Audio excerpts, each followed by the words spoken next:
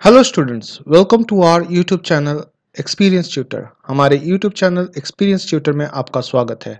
आज हम लोग डिस्कस करेंगे class twelfth chemistry chapter ten haloalkanes and haloarenes NCERT solution part thirteen आज के क्लास स्टार्ट करने से पहले आप लोगों से निवेदन है कि आप हमारा यूट्यूब चैनल को सब्सक्राइब कीजिए और हमारे वीडियोज़ को ज़्यादा से ज़्यादा शेयर कीजिए और लाइक कीजिए। बेल आइकन के नोटिफिकेशन को कृपया ऑन कर लें, जिससे आप हमारे कोई भी वीडियो मिस नहीं करेंगे। चलिए आज का लेसन शुरू करते हैं। आज हम लोग स्टार्ट करेंगे question number 10.20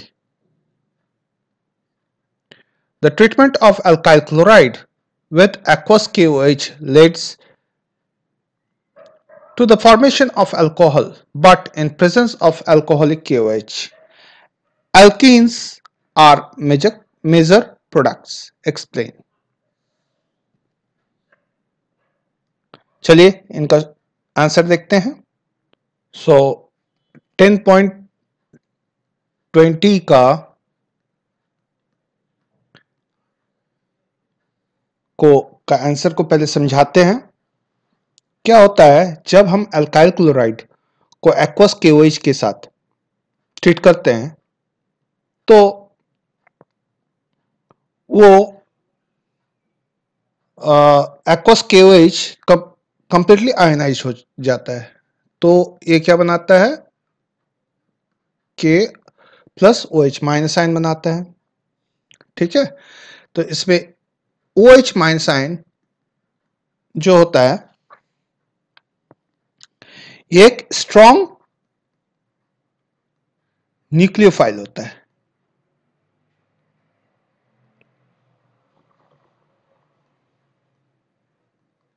ये स्ट्रॉन्ग न्यूक्लियोफाइल होता है। ठीक है? और वो अल्काइल क्लोराइड के साथ अल्काइल हेलाइड या अल्काइल क्लोराइड के साथ सब्सटीट्यूशन रिएक्शन बनाता है। तो सब्सटीट्यूशन रिएक्शन देता है। तो मान लीजिए ये अल्काइल क्लोराइड है और ये के ओ एच है, ये एक्वस है एक्वस के ओ एच है। तो यहाँ से ये हट जाएगा, ये ओ OH माइनस है तो ये न्यूक्लिफाइल की तरह एक्ट करता है और ये आर ग्रुप के साथ अटैच हो जाता है और ये अल्कोहल बना देता है। हॉल बना देता है और क्या छोड़ देता है? ये के छोड़ देता है यहाँ। और ये हमारा एल्काइल क्लोराइड ठीक है? इस तरह से एक्वस के के साथ एल्काइल क्लोराइड क्या दे देता है? अल्कोहल देता है। ठीक है? करेक्ट है? अब अब अल्कोहलिक एल्कोहलिक केओएच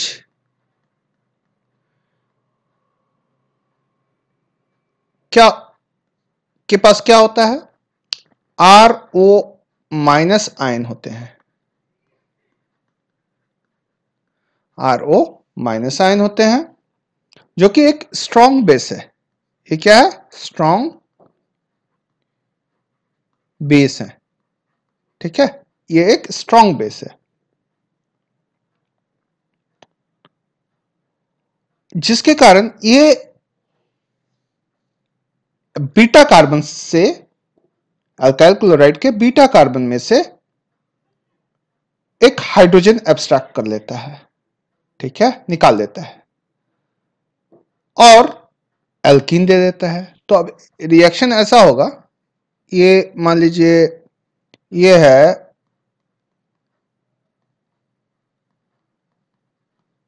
ये है अल्काइल क्लोराइड है।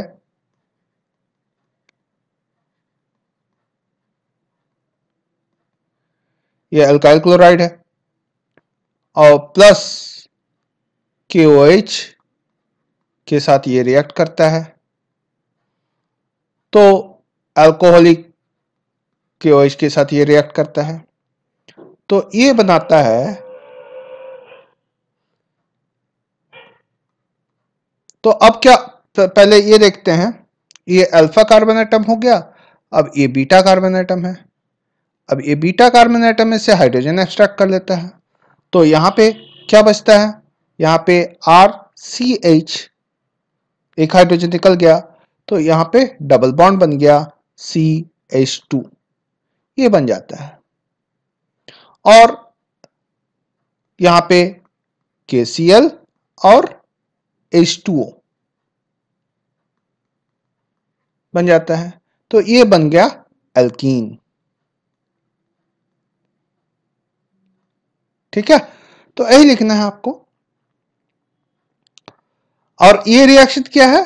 ये एलिमिनेशन। ये ऊपर वाला क्या था? सब्सटीट्यूशन रिएक्शन ये ये रिएक्शन क्या है? एलिमिनेशन रिएक्शन ठीक है? तो यही डिफरेंस है।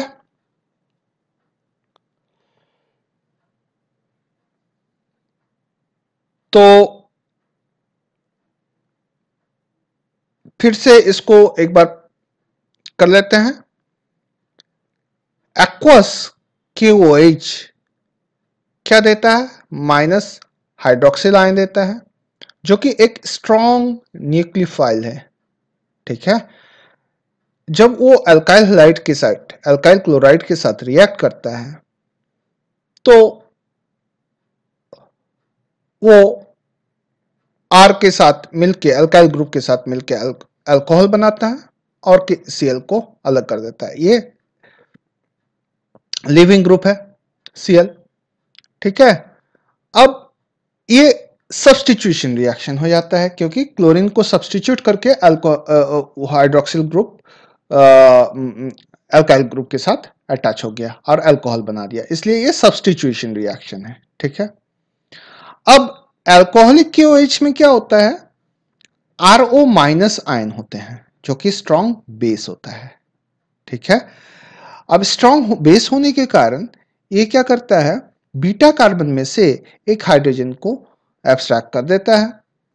और जिसके कारण बीटा कार्बन एटम में बीटा जिसके कारण बीटा कार्बन एटम के साथ एक डबल बॉन्ड बन जाता है और वो एल्कीन बन जाती हैं। और ये एक एलिमिनेशन रिएक्शन है। ध्यान दीजिएगा, ये एक एलिमिनेशन रिएक्शन है। तो ये है आपका इस क्वेश्चन का आंसर जस्ट आपको वर्ड्स में लिख देना है, दो रिएक्शंस का एग्ज़ाम्पल दे देना है, बस खत्म। चलिए, आगे बढ़ते हैं। नेक्स्ट क्वेश्चन है 10.21 10.21 है तो क्वेश्चन है प्राइमरी अल्काइल हलाइड ठीक है? C4H9Br A reached with alcoholic KOH oh sorry. React with alcoholic KOH to give compound B. ठीक है? अल्कोहलिक KOH के साथ C4H 9Br रिएक्ट करता है। और वो एक कंपाउंड बी देता है। Compound B is reacted with H B R to give C B H B R के साथ रिएक्ट करता है, एक कंपाउंड सी देता है। Which is an isomer of A जो कि आइसोमर है ए का। When A is reacted with sodium metal it gives compound D ठीक है? अब सोडियम मेटल के साथ ए को रिएक्ट करते हैं तो कंपाउंड डी मिलता है। उसके बाद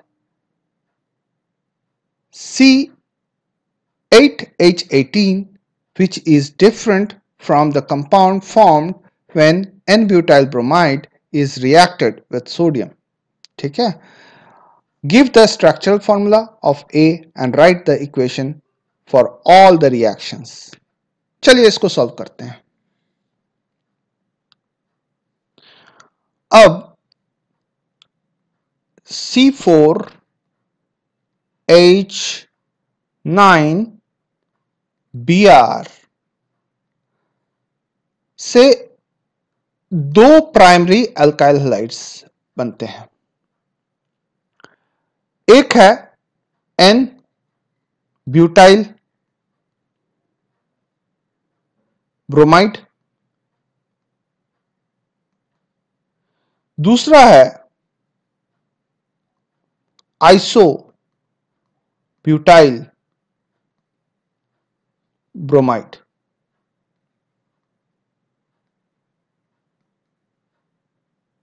ठीक है?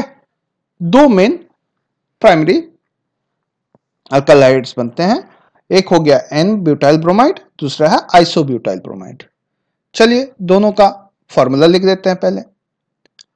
एन ब्यूटाइल ब्रोमाइड का C H three C H two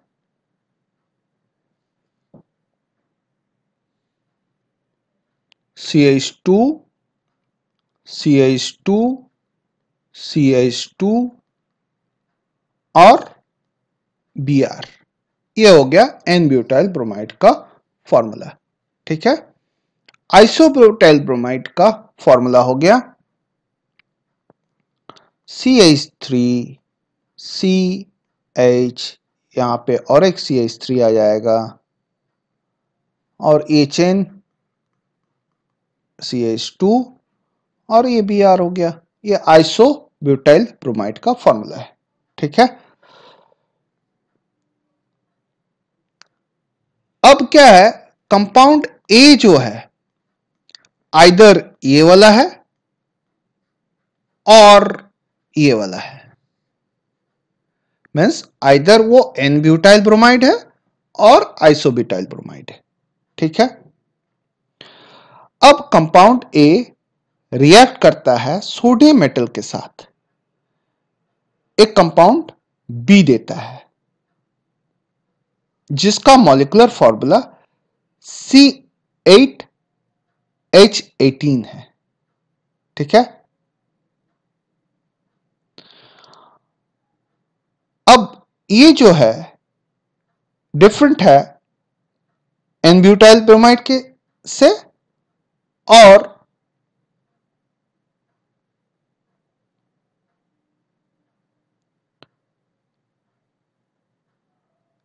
इसलिए ये ए जो है, वो आइसोब्यूटाइल ब्रोमाइड हो सकता है।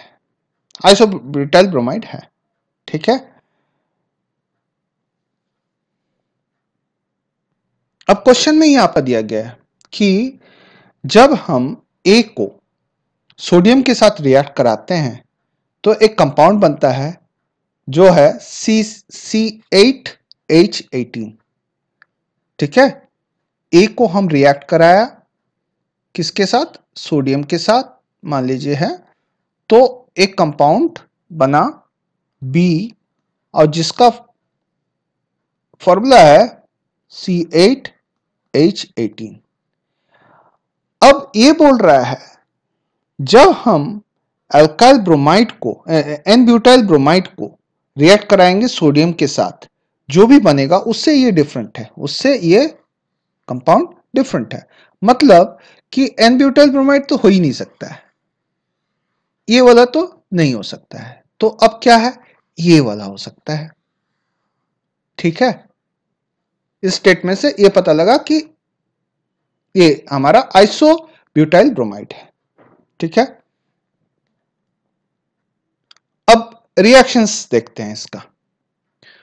अब मान लीजिए C H three N butyl bromide को सोडियम के साथ रिएक्ट कराते हैं। क्या मिलेगा हमें? वो देखते हैं पहले। C H two B R ये हो गया एन ब्यूटाइल ब्रोमाइड ठीक है? इसको हम रिएक्ट कराते हैं सोडियम के साथ में उच्च रिएक्शन ड्राई था के प्रेजेंस में ये देता है ऊर्जी रिएक्शन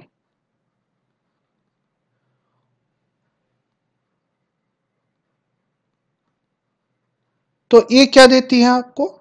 ये देती है C H three C H two C H two C H two C H two C H two C H two और ये सी एच थ्री देती है, यहाँ तक। तो ये बन गया आपका एन ऑक्टेन ठीक है? और यहाँ पे two N A B R निकल गया। करेक्ट है? अब आइसोप्रोपाइल ब्रोमाइड तो ए तो ये है नहीं, ये ए है नहीं, क्योंकि वो डिफरेंट कंपाउंड देता है, ठीक है? अब isopropyl bromide C H three C H C H two B R और यहाँ पे सी एच थ्री हो गया। तो ये कंपाउंड हो गया आइसो ब्यूटाइल ब्रोमाइड ठीक है? ये हो गया A since N butyl bromide A नहीं है तो आइसोब्यूटाइल ब्रोमाइड है ए ठीक है? ये ऊंच रिएक्शन में सोडियम और ड्राई ईथर के साथ के साथ क्या देता है? ऊर्ज रिएक्शन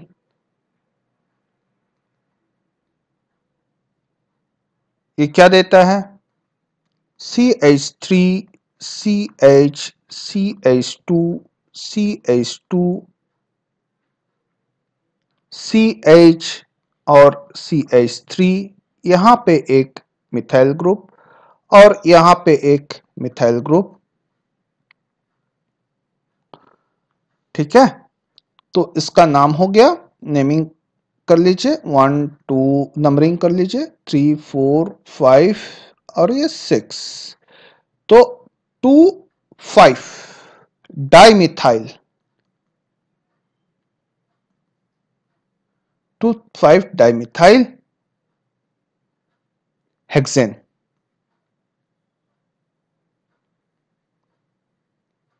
hexane तो ये हो गया कंपाउंड डी ठीक है? तो कंपाउंडिंग हो गया टू फाइव डाइमिथाइल हेक्सेन अब आगे बढ़ते हैं क्वेश्चन से। क्वेश्चन के अब यहाँ पे दिया गया है कि कंपाउंड ए रिएक्ट करता है अल्कोहलिक के के साथ और कंपाउंड बी देता है। ठीक है? तो कंपाउंड बी क्या होगा? तो कंपाउंड ए जब रिएक्ट करेगा तो आइसोप्रोपाइल क्लोराइड जब रिएक्ट करेगा अल्कोहलिक के के साथ, वो क्या देगा? टू मिथाइल प्रोपेन देगा। तो अब इसका रिएक्शन क्या होगा? सिंपल है। C H three C H C H three और यहाँ पे बन गया सी एच थ्री तो ये हो गया आइसोबिटाइल क्लोराइड।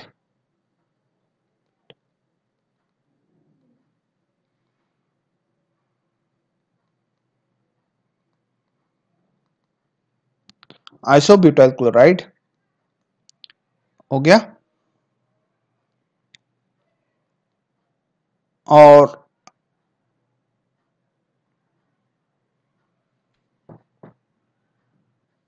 Isobutyl bromide. ठीक है? ये आइसोबिटाइल ब्रोमाइड जब एक्वस अल्कोहलिक के के साथ रिएक्ट करता है।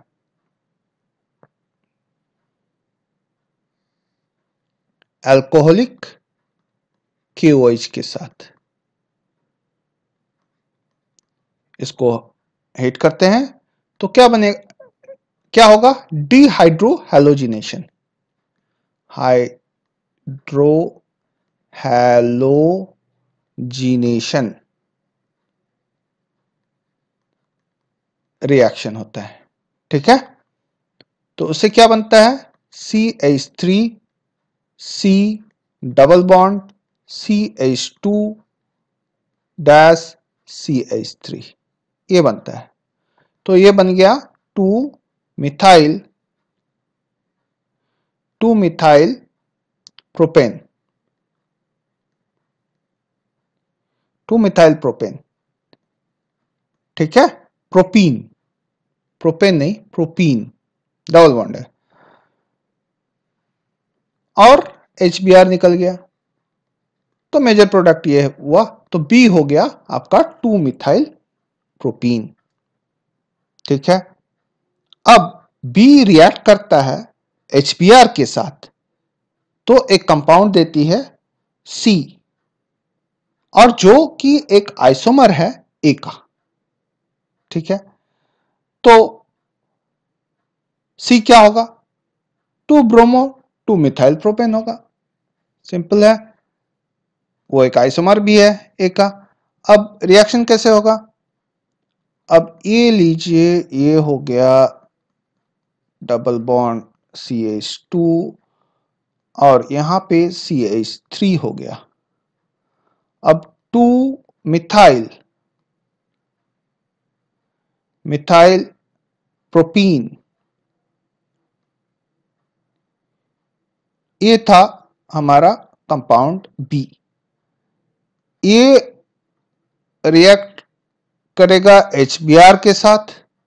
इस रिएक्शन को क्या कहते हैं? मार्कऑफ निकॉप एडिशन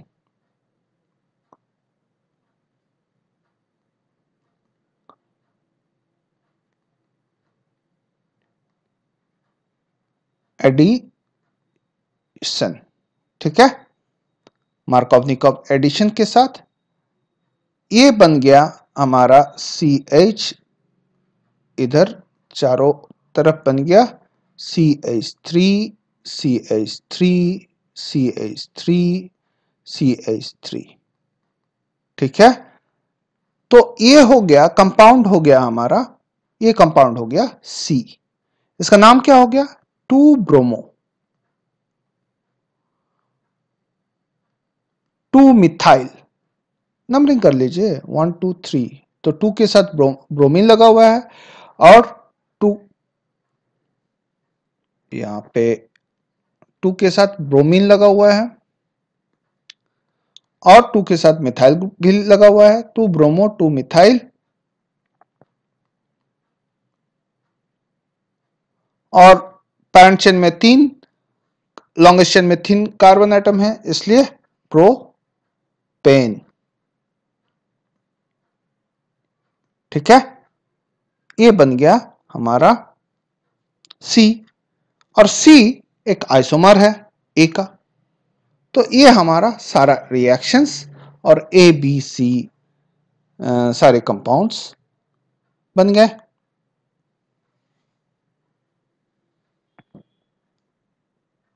चलिए नेक्स्ट क्वेश्चन देखते हैं। आज का क्लास यहीं तक रखते हैं। आज का क्लास समाप्त करने से पहले आप लोगों से रिक्वेस्ट है कि आप हमारे YouTube चैनल एक्सपीरियंस ट्यूटर को प्लीज़ सब्सक्राइब कर लें और हमारे वीडियोस को ज़्यादा से ज़्यादा शेयर करें और लाइक करें। बेल आइकन के नोटिफिकेशन को कृपा ऑन कर लें, जिससे आप हमारा कोई भी वीडियो मिस नहीं करेंगे।